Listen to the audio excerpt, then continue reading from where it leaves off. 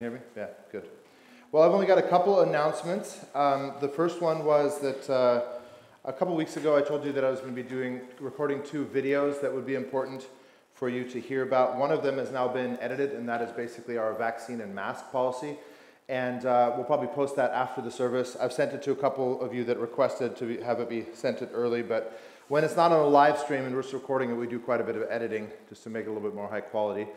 And, uh, but just a review of what that says is that the elders feel we need to remain neutral in regards to that because we believe that they're a matter of individual convictions rather than universal ones. So you're not going to be forced to wear masks, and you're not going to be forced to be vaccinated at our church to attend, but also um, we're not going to judge anyone for their personal convictions around those things either. So you'll get a well biblically reasoned video that's posted on our YouTube page and also on our Facebook page that you can watch uh, one thing that might be helpful is actually building out your own perspectives and your own individual convictions regarding Scripture. We go into 1 Corinthians 9 and Romans 14, where we talk about things that are not universal convictions, but rather personal convictions.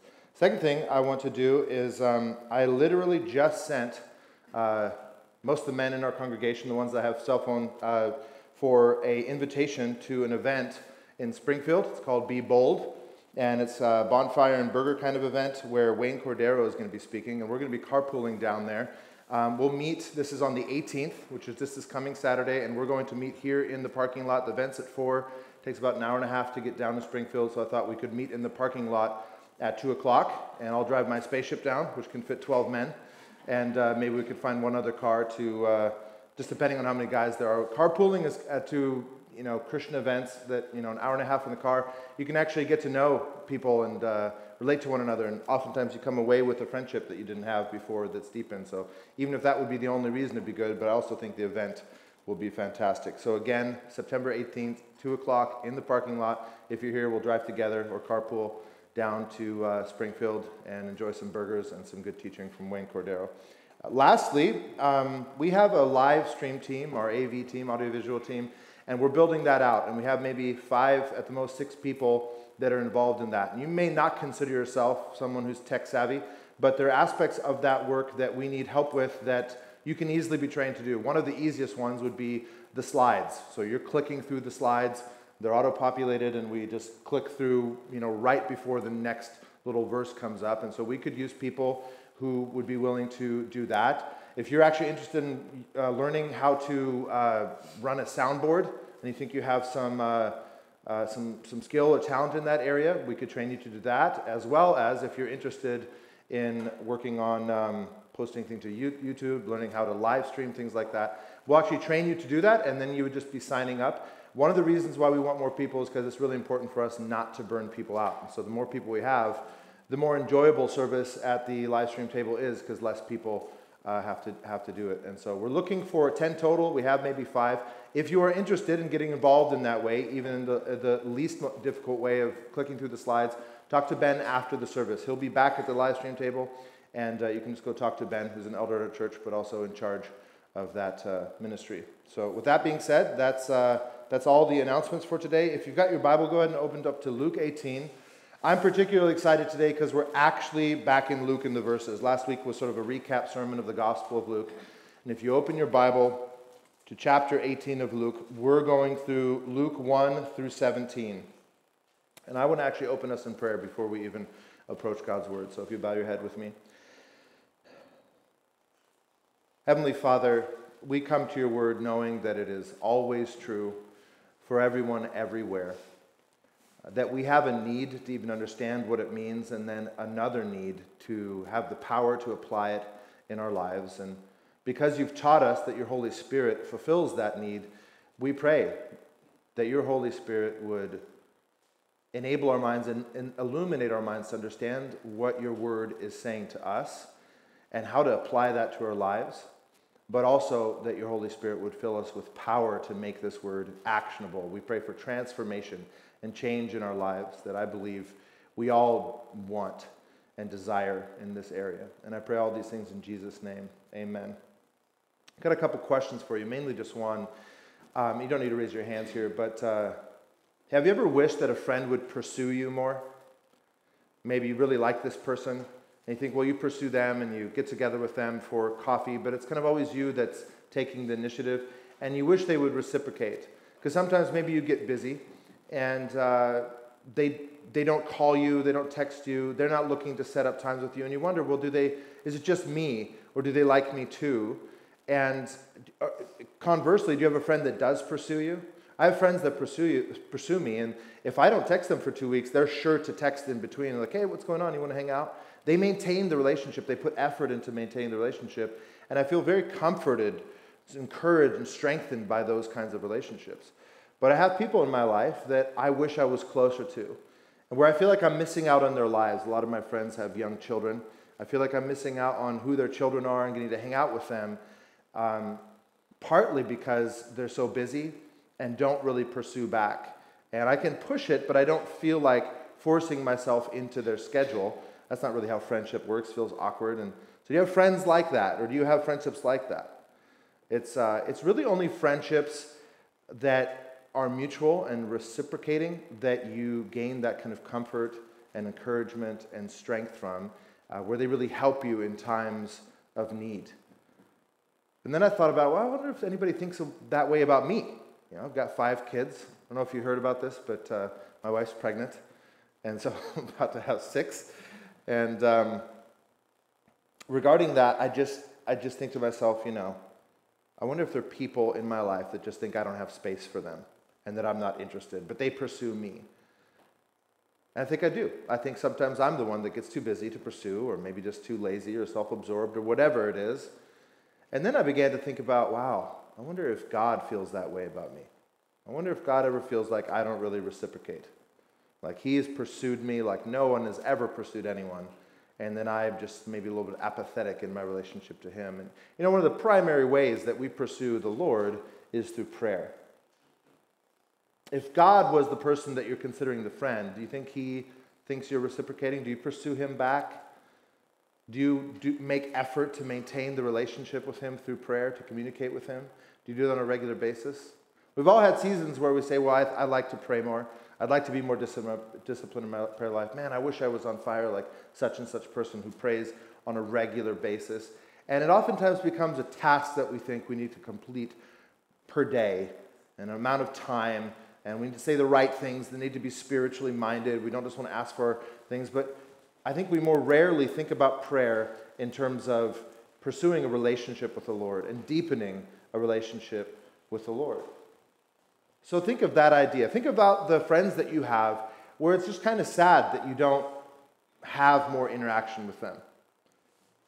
Where you just feel, I wish we spent more time together. I wish I was more involved in their life, but there just isn't that reciprocity in relationship, and so it just hasn't been working out. And take that feeling. You know, I have friends whose children are now five years old, and I've missed most of their children's lives, and it's sad.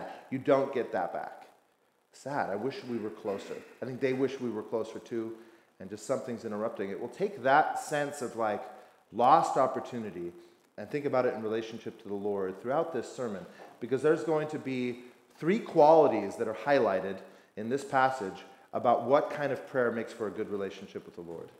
Three qualities. Normally, I give you my main point right up front. I want you to see this is like I was going to say the perfect three point sermon. This, this is organized to be the perfect three point sermon. Whether it ends up being the perfect sermon depends on the delivery, I guess. But there's these three points that make up a main point, and that's what you're supposed to do as a preacher. You're supposed to show them three points. That's what almost every preaching teacher will teach. And you're going to find the first point about what makes a good relationship for God in terms of in relationship to God in terms of prayer in chapter 18, 1 through 8. The second point in 9 through 14 and the third point in 15 through 17. I'm guessing at least one of these is going to be something that you want to see increased in your prayer life. But remember, don't think of this as a task to complete, but think about this as a relationship to pursue and deepen. Okay? So here, verse 1, Jesus says, And he told them a parable to the effect that they ought to always pray and not lose heart.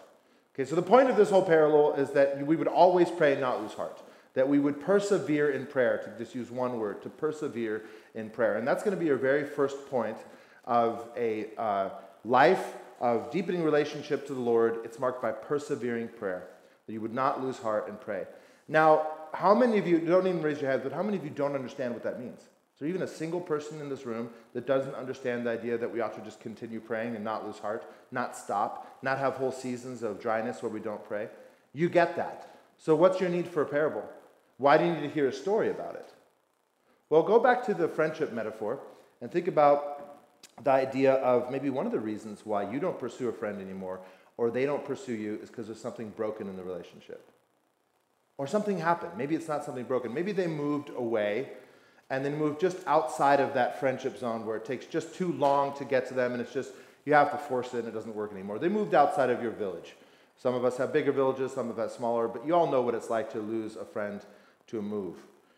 Or maybe it's the result of sort of you've, you've been drifting apart in a lot of different ways, and one of them is worldview.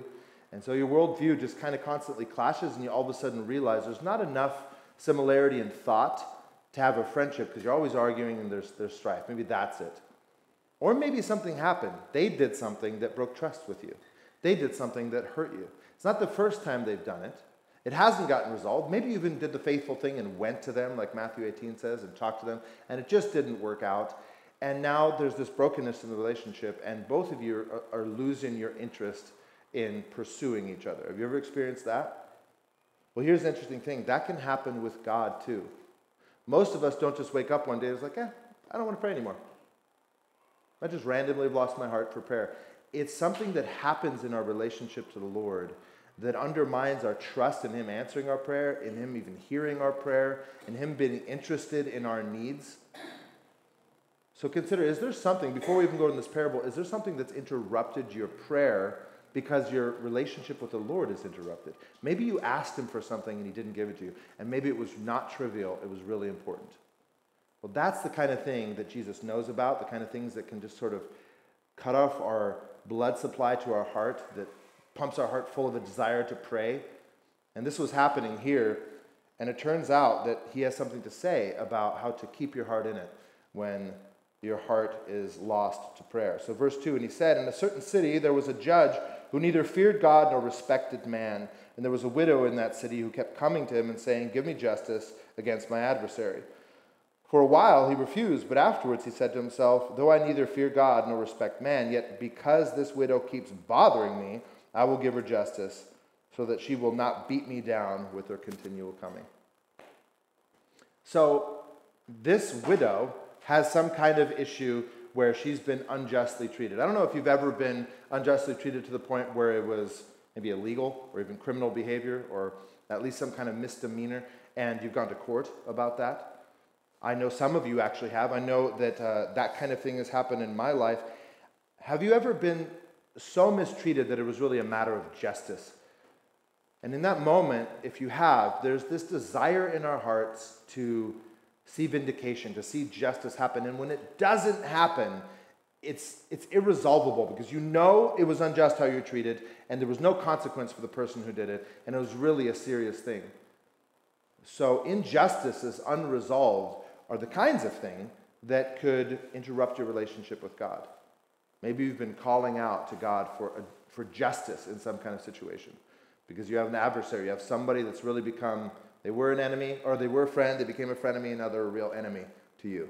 Maybe you, you lost your job as a result of what they did, or you lost your reputation and friendships because of what they posted about you online. And you just want things to be made right.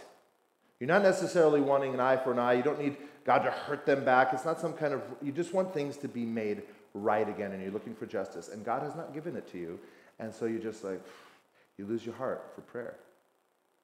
Now, this is not really with the stream of the sermon, but I thought, you know, there's this little thing that really comforted me in this. It's not so much about prayer, but about something that Jesus knows. It says here in a city, in, in a certain, this is Jesus telling the story. In a certain city, there was a judge who neither feared God nor respected man.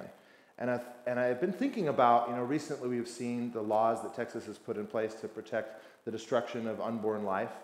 And then it was like two days later, and some judge gets in the way of it. Like, hey, that's good, right, and true. Let me make, make let me make sure that I'm going to just deny that justice. And it's discouraging when you see, I don't know if it's a majority or even half, but you see a lot of just judges doing the opposite of what is good, right, and true, and it can be discouraging to us. Like, what's going on? Things seem out of control in our nation, yet Jesus knows, he's not unaware that there are judges in any generation who neither fear God nor respect human being. They don't care about what justice is, they don't care about you, and they just do whatever makes them look good to the world. They're self interested. And so, although that's not really with the stream of what we're talking about, I thought, you know, it comforted me to know that God knows about the bad judges, you know, and they have what's coming to them unless they repent. And so, you don't need to worry too much about the kind of wrong judgments that are being made in the world. God knows. But beside the point, back to this story, Jesus is illustrating the fact that when this widow calls for justice, although this judge is not a good guy, not a good dude, he doesn't care about justice, he doesn't care about her, he just cares about himself. And so she's nagging him to the point where he's like, This is bad enough for my life that I'll give her justice. I doubt he even cares or knows or agrees that what she needs is justice. He just finally gives her what she wants because she keeps coming. She has not lost heart that she might get justice over her adversary. And in verse 6, the Lord said, Hear what the unrighteous judge says. You know, she's beating me down. So annoying. I'm going to finally give her justice. And now he compares that and contrasts that to God. And will not God give justice to his elect who cry to him day and night? Will he delay long over them? I tell you, he will give justice to them speedily. So he's comparing the character of an unrighteous judge to the character of a righteous judge, and God in this case. And he's saying, even an unjust judge, if you just persevere in your pursuit of justice, will sometimes grant that, that justice. How much more a God who is righteous, who's the definition of justice, who cares more about this justice than you actually do, and how much quicker. He's not going to delay, he's not going to wait. That is the character of God. And so sometimes the issue is we need to be reminded of God's character, which we actually believe is true. Sometimes our experiences tend to undermine our view of God's character. And so we need to be reminded of God's character and who He actually is. Otherwise, our prayer life can be interrupted. God loves us. He chose us before the foundation of the world, unconditionally. He chose because of His will. And He loves you. And He pursued you all the way to the point where He sent His Son to die for your sin so that you could live forever in a forgiven way in a perfect relationship with the Lord. So he's not going to be delaying justice. Now, some of you might be thinking, well, I still haven't heard anything from him. It's been years, and I've been praying for years, and I still haven't lost heart, but still, I haven't found that kind of justice. And I'm going to address that very issue with verses 15 and 16. What about when it hasn't happened speedily? What about when I still don't have? And maybe for you, it's not justice. Maybe it's not that something was really wrong and needs to be made right. Maybe it's something else. Maybe it's an unanswered prayer. I remember just this last uh, week on Wednesday in our Bible study, someone had said that someone lost their faith over an unanswered prayer, uh, and that prayer was unbelievably important to them, life and death kind of thing. And they'd lost their faith over that issue. And so we prayed for this person. Um, but I hear that happening all the time. I get, I don't get tempted necessarily to walk away from the Lord. I have nothing else. If you know my story, it's just, you know, I was a man in rebellion against God, a man forgiven, and then a man in service of God. And I, I just can never go back. But I do get tempted. I still remember in my honeymoon, um, Christine got emergency room sick. The first thought I have is like, are you kidding me, God? Out of all the times that you could protect my wife, this is the one, you know? It's like ill to the point of emergency room. And there's this temptation to blame God for the circumstance. And when you start blaming God, He's not going to respond and be like, yeah, you're right, I was wrong. That's never going to happen, you know? So there isn't going to be some kind of reconciliation between the two when you've accused him, and you know that in your heart. But still, there's this sticking point like, why did that happen? And that needs a resolution. The resolution isn't found here in 1 through 8. But what we hear here in 1 through 8 is that God's character is good, it's righteous, it's true. He's not delaying justice because he's lazy or self interested. He has a purpose for when he answers your prayer. And more often than not, in my experience, when you pray and persevere, it's like overnight that all of a sudden this justice has happened, this prayer has been answered. We write our prayer requests down in the, in the Bible study, and then my wife actually, uh, you know, hand letters them into a little journal. And then sooner or later, enough have built up, enough have been answered. We read back. It's always the majority of the prayer requests that have been answered. Always the majority. We've been in these groups for well over a year now. We established them about a year and a half ago, I think. And uh, God answers so many more prayers than go unanswered. I think that will be your experience too if you don't lose heart in prayer. So, are you persevering in your prayer life? If you're not, we want to help you. Ben is going to go ahead and put our website up in, in just a moment, and uh, we'll discuss one of the ways that we can help with your prayer life. If you're like me, You've made commitments before. Oh, I'm going to pray more and I'm going to start praying with my wife or I'm going to start praying with my friends or I'm going to pray alone. I'm going to set this time. And then you've done it for a while and you kind of fall away from it. It's not that you lost your heart for prayer, it's that there's a lack of consistency, there's a lack of discipline. Life gets in the way. Five kids get in the way. And so you start thinking, well, I'm just so busy.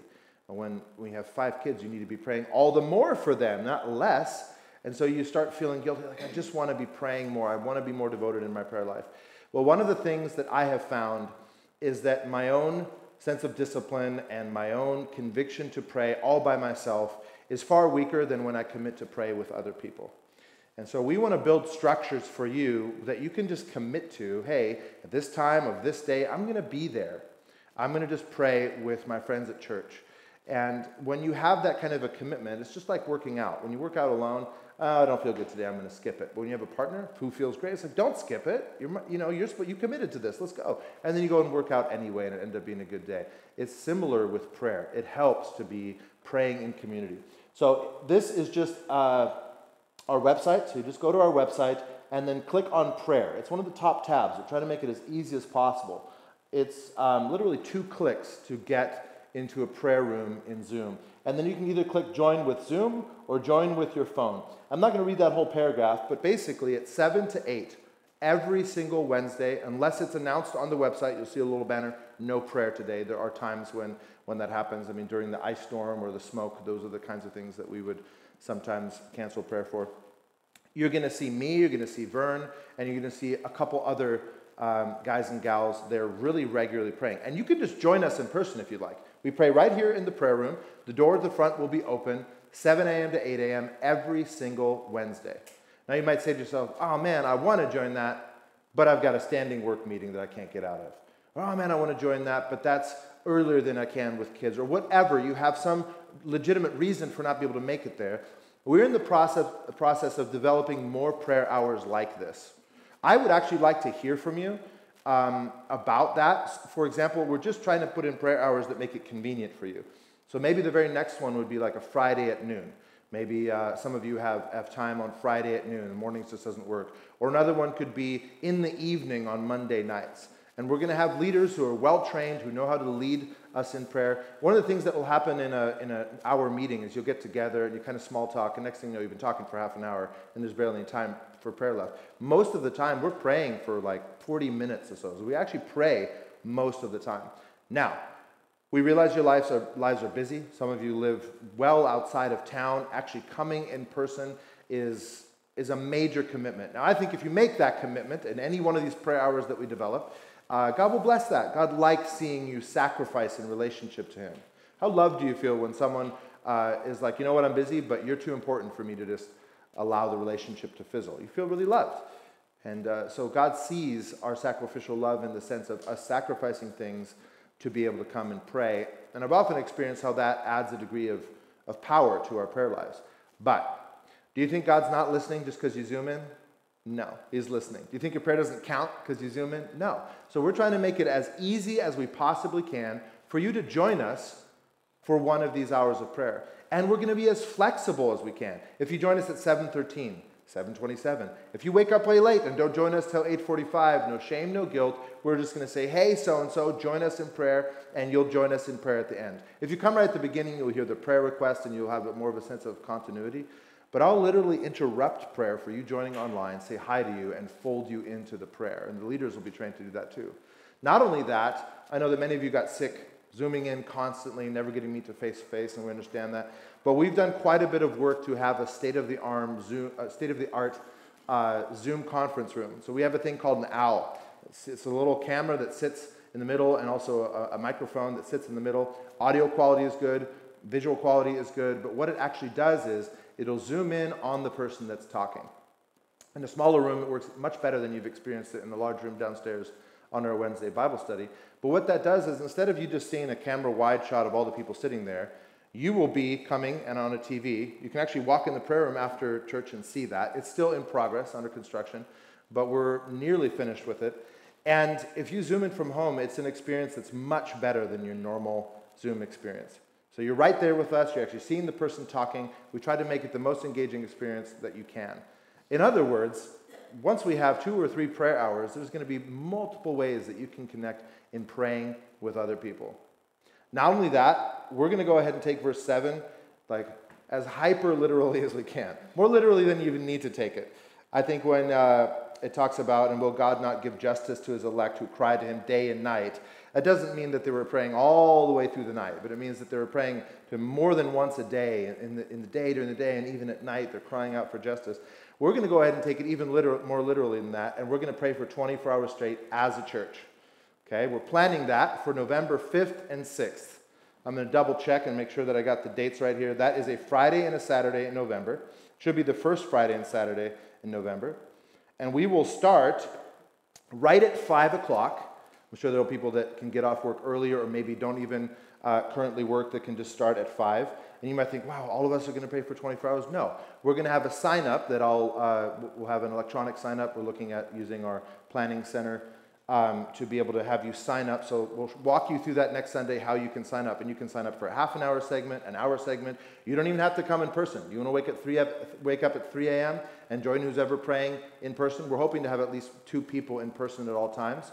You can just join from home, pray for half an hour, go right back to sleep. The point is, we're going to have a round the clock prayer in the prayer room starting at 5 o'clock on November 5th, going all the way through 5 o'clock at Saturday uh, the 6th, and then we're going to have a meal together, and anybody could come. And uh, there's no way for you to eat via Zoom. So we haven't figured that one out yet. You're going to have to come in person if you want to be part of the meal. Okay, so all you need to do right now, if you're interested in joining our 24 hour prayer, and I think you should be, I think you should, it would be amazing to see a lot of participation on this, um, is just write down, block off the 5th and 6th. Hopefully, you don't already have something that day. If you do, we understand but again, the fifth and sixth. So we're working as a church to put in structures and times and events, regular and periodic, to help you not just jumpstart your prayer, but start making it a regular rhythm. Not only that, we already have some regular rhythms for the whole congregation. If you come on Wednesday nights at 6 and join our small group, we call them discipleship communities because we eat together, we study God's Word together, and we pray together every single Wednesday. So there's, and that's Wednesday evening. So we, I guess we already have two times where we pray together as a church, and anyone can be part of that. But um, at the end of the day, there really is no substitute for you praying all by yourself, oftentimes called private prayer.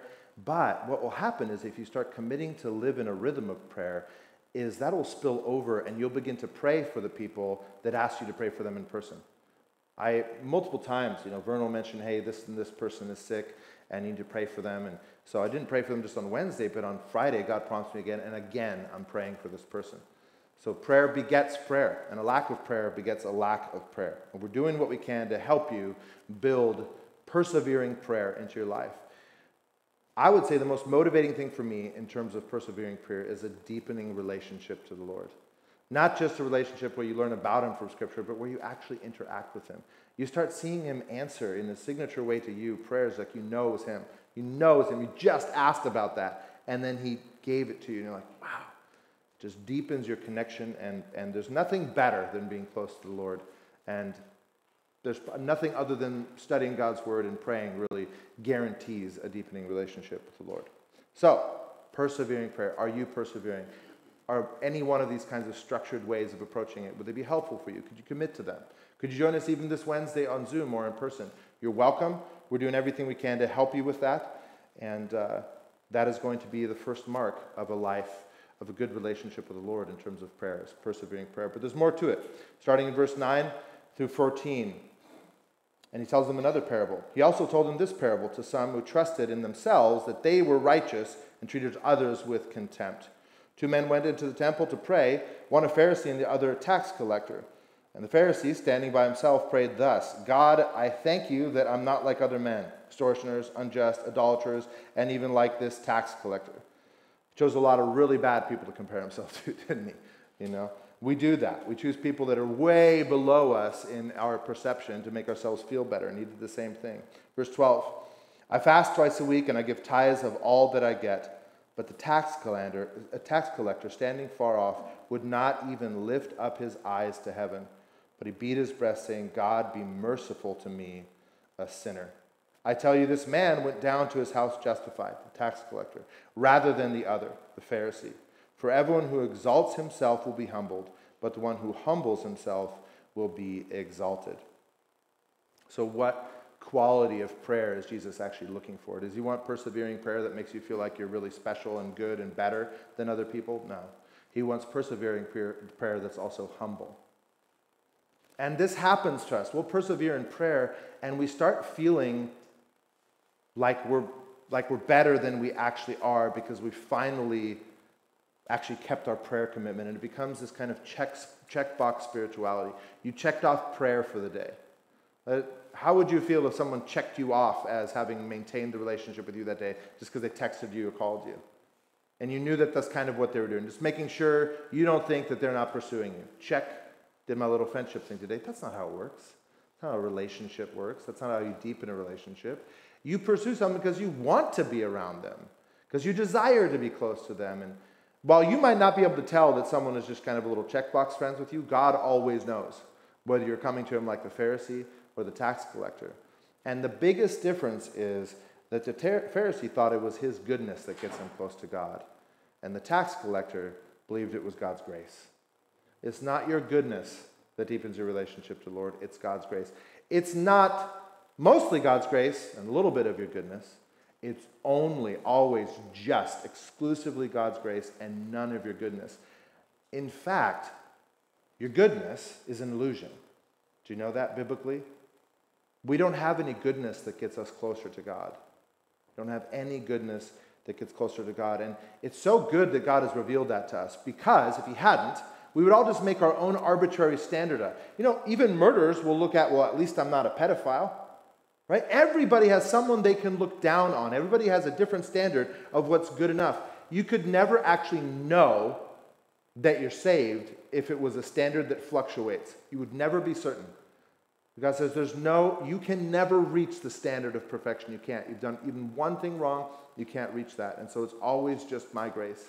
You know, there are versions of Christianity where it's it's almost that, but like God's grace comes down and it's like 11 feet above the ground, but you still need to jump and get to it. There's some little part of that that you have to make up. And you know what? It's your prayer life. You need to pray more. You need to give more. You need to fast more. You need to be better than these murderers out there. And there's just nothing we can do to make it up. It's actually the opposite. God says all of our good works are like filthy rags before Him. They stack up to worthlessness, to waste. And one of the reasons that is, it's not that you're incapable of doing something good, that you do something good and it's stacking up towards like almost getting to God. This is always something that glorifies you. It's always something that makes you look good, and it leads towards contempt for others who are not living according to your standard. You see that in the Pharisee's life. So it would not be worth persevering in prayer if you're pridefully persevering, would it? So it has to be not just perseverance, but it has to be humble perseverance. It turns out that without the humility that says, I need your mercy, Lord, because I'm a sinner, you're not even justified before God. What does justified mean? It's one of the more complicated theological terms. Paul has written an entire book of Romans.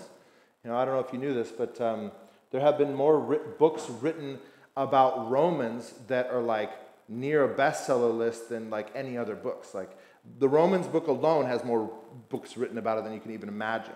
And it's because what Paul explains there is that we're justified by faith alone through grace alone. It's not that complicated of a concept if you get it.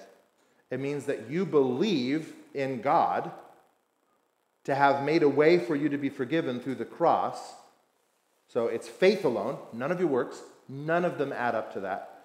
Right? So you just believe, you just trust. And faith points away from yourself. It doesn't point towards you. It points by definition away from yourself towards God. And so you believe in him and you believe in him that he's made a way for you to be declared righteous even though you had no way to accomplish it yourself. By faith alone, through grace alone. And then they add in Christ alone, just to make really clear that it's, it's through Jesus that we have that grace. And it's in the God who he is the Son of, and the perfect representation of, and the very image of, and in Himself, God that we're talking about. It's not some other God. God left us with the most specific definition of who He is. You say Jesus is God? Okay, you're worshiping God the Father. You say Jesus isn't God? You get the Jesus wrong, you make him something different, you're not worshiping God the Father. So it's by faith alone, through grace alone, in Christ alone. And you know, it's interesting. You hear stories about people sitting in the pews who everyone else in the church thinks are Christians, who one day all of a sudden understand this. God reveals it to them. Maybe they humble themselves and they just realize, wow, I can't be good enough. It clicks in their mind, and they realize that they've never actually really been a Christian before and become a Christian that day. So you might think, you know, I've heard this so many times, but it's, it's worth repeating over and over and over again. Because even if you believe it and you've lived your life about it, we wake up with this fleshly desire to still climb our way, even if we can only make it up to the counter, till just to climb our way. I just want to be a little bit worthy. And it's such a, such a deadly pursuit. It'll kill your relationships, it'll dampen your relationship to the Lord. The closest people to the Lord are the ones who are most desperate for his grace. So I want you to consider that. When you pray, is there a part of you that's desperate for his mercy? If you're not desperate for his mercy, it means you're not self aware enough about your sin. So, what should you do? Just become more self aware? Well, I don't think you can just reveal to yourself how sinful your sin is. I think you also ought to pray and ask God, hey, will you show me where I need your grace? And not just to wash, rinse, and repeat, but to be transformed and stop living that way. Will you show me? So, prayer is also the answer to growing in humility. It's kind of a vicious circle, though. You're prideful, you become more and more unaware of your own sin. You think less and less that you need God's mercy. You think lower and lower of other people and higher and higher of yourself. Versus the opposite, good circle, that you realize, wow, I need God so much every day. I constantly make mistakes. Without Him, I wouldn't even be in relationship to Him. Without Him, I wouldn't even be able to breathe and move and have my being. And so you come to prayer not just asking Him for things, but also with the sense of dire need for grace. So, those are the first two qualities of a good relationship to the Lord in terms of prayer. The two qualities of prayer are perseverance and humility. Not just any kind of humility, like humility, I'm not a good person, I need God's grace. He knows. Nobody else knows like He knows. So you can't fake it with Him. But there's one more quality, and this is the quality that really resolves that issue, that can resolve that issue of like, well, he didn't answer my prayer. And this is verse 15 through 17. Now they were bringing even infants to him that he might touch them. And when the disciples saw it, they rebuked them. They didn't want him having to mess with infants. Know, we get like that sometimes. We think of children's church as something that we have to do. It's like, oh, I got asked, and I have to go down there and babysit. That's not Jesus' attitude about children. He loves them. It is a privilege to teach them. It's more effective statistically to teach children 1 through 13 than any other demographic. In fact, I might get this statistic off by a couple percentage points, but it's in the 90s of children learn 90%, I think it might even be 95% of what they're going to believe about God for the rest of their life from the age of 1 to 13. It's that high. I wish I had the statistics to back it up, but I, I remember researching this in the past. So, the most effective time to ever teach children about God, uh, teach people about God, is when they're children. So, it's a high honor and a privilege to teach them. It's unbelievably effective. It just doesn't offer a whole lot of public rewards, does it? You know, because children don't all of a sudden say at seven years old, hey, thank you so much for teaching me God's word. They might not even come back in their 30s, although they think it. Sooner or later, they'll, they'll remember who taught them God's word and they'll be thankful. But Jesus called them to him, saying, Let the children come to me, and do not hinder them, for to such belongs the kingdom of God. Truly I say to you, whoever does not receive the kingdom of God like a child shall not enter it. Now it's easy to miss the idea of prayer in here because Jesus is there in person, and so they're bringing their infants to Jesus in person. But the motivation for that is no different than the motivation for prayer. Your child is sick, you're going to pray on your knees to God. If Jesus is here in person, I'm going to do whatever it takes to get to him, but it's the same thing. We're asking God Himself for help with our children. And Jesus turns it around and actually says, not only don't push them away, it's your pride that's pushing them away. You need to be like one of these children just to be um, entering the kingdom of God. And so we need to think about what are the qualities of children that He wants us to act. Does He want you to be childish? Childish? want you to throw temper tantrums? You ever throw a temper tantrum as an adult? It's so embarrassing when you realize that's what you've been doing. You're usually hungry angry, lonely, tired. I think someone said, halt, you know, don't throw the temper tantrum. It happens to us so easily, though. But children, it just, it just comes out like, I'll say no to one of my children, and immediately their face is screwing up, and they're not great actors, and still tears are coming down their eyes. For them, it's very real. The emotion is very real.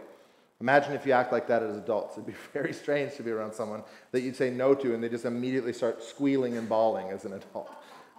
Yeah, maturing babies, not a good thing. But that's not one of the qualities he's highlighting. More than ever, as a father of five young children, soon to be six, I've started to understand the kind of quality that Jesus is talking about here. And let me explain it to you. Isaiah is already starting to transition out of that. He's intelligent. He sees, you know, the discrepancies in what I say and what I do. He's starting to see I'm not perfect. And so he's starting to come out of that, that early childhood range. But the question of whether my children trust me, trust me, is never even minorly interrupted by me saying no to them. They might be upset that I said no to them, but they don't all of a sudden think, well, now I don't trust you anymore. They don't. They don't have that, they don't have that kind of framework. Children have a sense, they're not innocent according to God's word. We're born sinners. We're born with a sinful nature. So it's wrong to think biblically that children are innocent, but there's a sense in, people like to say there's an innocence there. There's a lack of jadedness. They don't have enough time in a relationship to people to realize people will lie to you, they will cheat you, they will steal from you, and so you got to kind of protect yourself. Children have a sense of a little bit of a blank slate in relational history, and they don't think like, I'm just going to stop trusting you now because you said no. In fact, my children trust me so much. I have an unbroken record of throwing them up in the air and catching them. I've never dropped one. So we have this uh, outdoor awning, like rain uh, uh, roof kind of thing, and they'll hit their uh, badminton, what's it called, a shuttlecock or the birdie or whatever it is. They'll hit it up there, and then we've all up there, and we have to get up there. I'm too heavy to get up there. It's the corrugated kind of thing. I would just fall right through, and a ladder won't get it there unless I'm like with a broom. And so oftentimes what I'll do is I'll put one of the kids on the roof, and they're army crawling across, getting it, and then um, I, I looked at one of them and said, jump down, thinking they're going to say, no, daddy, let me like slide down, hang down, and then you grab me. Immediately, Elijah jumps. Boom, right away. He's the guy that I put up there. I almost didn't catch him because it was mostly just a joke. I didn't think he was going to actually jump. Without even questioning, he jumped. Never dropped him. Didn't drop him that time. Immediately, Isaiah says, I want to do it. So I put him up there and, and he jumps. Same thing with Ezra. This is when I just had Isaiah. Well, when Judah's too young. At that case, Judah's my, my fourth boy. And so there's this unbroken trust with them that does not get undermined when I say, no, you can't have this candy. No, you can't have video games right now. No, you can't go outside. No, you can't do this. And as we become an adult, though, sooner or later, when God says no to us, it begins to undermine our trust. Like, is he really good? Why did he say no? It's because there's this pride that's come in. It's no longer a childlike faith, it's just trusting him. And you say, well, I'm not a child anymore. But in terms of your relationship to God, it doesn't diminish you at all to think of yourself as a young child in relationship to Him. He's God. He's infinitely more mature and intelligent than I am compared to my children, to compare to us. So we ought to think of ourselves in that kind of way in terms of trust. It's the, it's the virtue I want to highlight. Do you trust the Lord? Has something in your life undermined your trust towards Him? He said no. You're like, well, you said you were good. You said you would heal me. I have this disease. You said no. How could you be good? Or maybe you are good, but you're not in control, and you start doubting his sovereignty. And by the way, it's not just your flesh that does that. The enemy wants to drive a wedge between you and the Lord. And one thing that he constantly challenges is, you know, you know God is in all in control, and you know He's good. So God or Satan wants to separate those two. He wants to say you can't logically believe that. He's either good and not in control, or he's fully in control and not good. Look at all the bad things that happen in the world. If he was in control, it wouldn't be happening. So you have to think about that. You know, we, we end up being proven wrong, though, when we start thinking like that. I had a friend who, when we'd read through the Old Testament together, would always have a sticking point in the places where God judges nations. Like he'll destroy a whole nation. We don't have time to talk about that. It's a tough thing for people to believe. But ultimately, thought, well, that can't be good. That can't be good. So either that's not who God is, and the authors of this book got it wrong, or it is, and he just kind of puts it to the side and doesn't know what to do with it, but never really believes it. It's important when you go through this passage is that you don't start thinking God's not just. When he judges, he's always right to, and when we judge that, all that means is that we don't take sin seriously enough. We don't take it as seriously as God does. But then on the flip side, this same guy, and we do this all the time as Christians, a missionary couple that he was supporting, um, I think they were missionary couples to like a, a, tribe. I can't remember whether it was in the Amazon, but it was in a place where there was a, was a tribe and they got killed. And they were the best people he knew, the best people he knew. And he loved them and he supported them. And now it was unjust for God to not have saved them. So one time God acts in justice and judgment, and another time he doesn't. Well, in this case, if God had just destroyed that tribe from killing the missionaries, she had greater purposes than that. If he just destroyed that tribe from killing the missionaries, maybe my friend, who was friends with the missionaries, would have thought that was just. But another person was like, What are you doing? Just wiping out a whole group of people? You can see how we just will judge God if he does justice, and we'll judge God if he doesn't do justice. And it's always only us that defines that justice. Children don't work like that. Children don't work like that. They have, you know, it's almost like they wake up in the morning and they're just like reprogrammed to trust mommy and daddy. You have to do a lot of continually wrong stuff to abuse their trust as young children. And they, you see them growing out as they get older. So, what has interrupted your trust in the Lord? Has He not answered a prayer? Something happened in your life, He answered it differently than you wanted Him to? Would you be willing to return to that childlike trust? You're not contradicting that He's good. You're not willing to say He's not in control. It's your flesh and the enemy that are trying to separate those two things. So you can actually make commitment. You can ask for forgiveness. God, forgive me for not trusting your character, that you're a good judge and that you will give justice speedily, that you'll answer my prayers, that I cry out to you day and night, and I don't need to lose heart. God, humble me. Show me how much I'm in need of your grace. Fill my prayers with that kind of humility. And Lord, return me to the trust I had in the beginning of my faith. Almost everyone, when they first come to faith, they just trust God like a child. Do you want that back? Those are the qualities that lead to a good relationship to, uh, towards God in terms of prayer.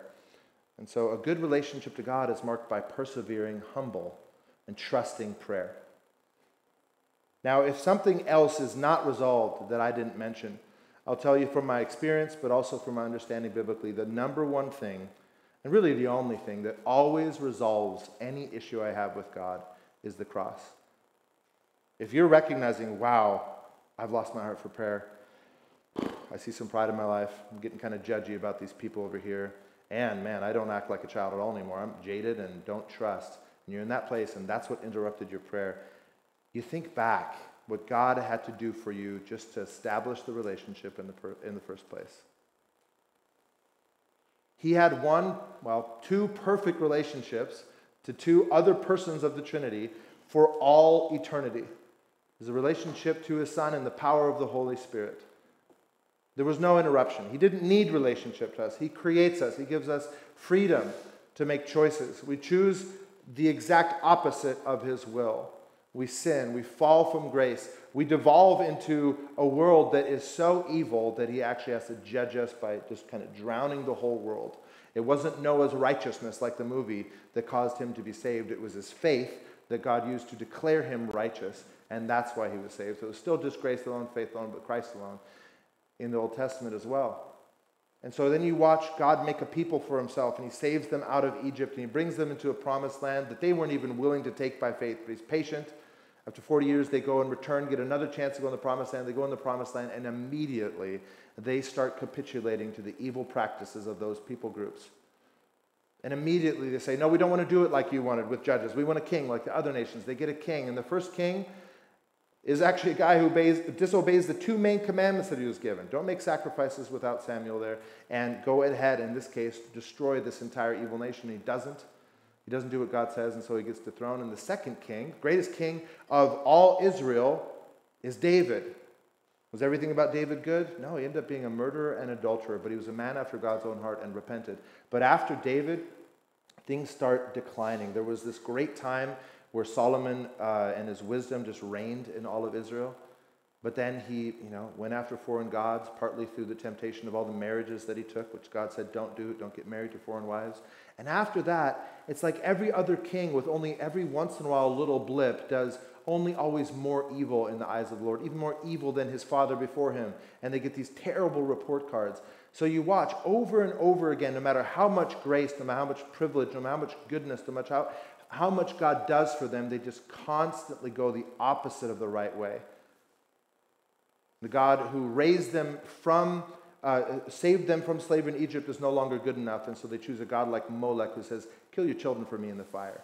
Right? They don't choose a semi decent God against God, they choose the most evil God against God, and this is the pattern of God's people. And then Paul, fast forward into Romans, says, Look, I see what's good and what's right and what I should do. But I keep doing the exact opposite of what I want to do. And he feels like this wretched man who sees what's good but doesn't have the power to do it. And then he explains that it's actually by the power of this indwelling spirit that we can put to death the misdeeds of the body. And one of those misdeeds is prayerlessness. And so if you're in that place, what you need is to come to communion today. You need God's grace and you need His forgiveness for having allowed yourself to distrust Him, for allowed yourself to get prideful, to allow yourself to lose your heart for prayer. You need His strengthening grace to return to you that. And so as uh, Joy and Daniel come up and begin to lead us in worship, I'm going to go ahead and pray for us that this would not be just one more sermon about prayer that convicts you, yeah, I should pray, but this would be a sermon that ignites our heart for prayer and pursuing the Lord relationally through it. Let me pray.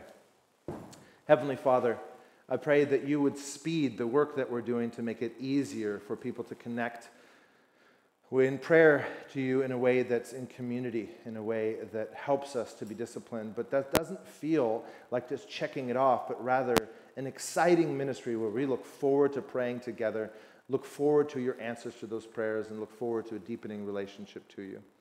I pray that during communion, Lord, you would convict those who need conviction, challenge those who need challenge, comfort and console and encourage those who need that. But I pray that not one person in this church would leave unchanged in terms of the relationship to you through prayer. And I pray these things in Jesus' name. Amen.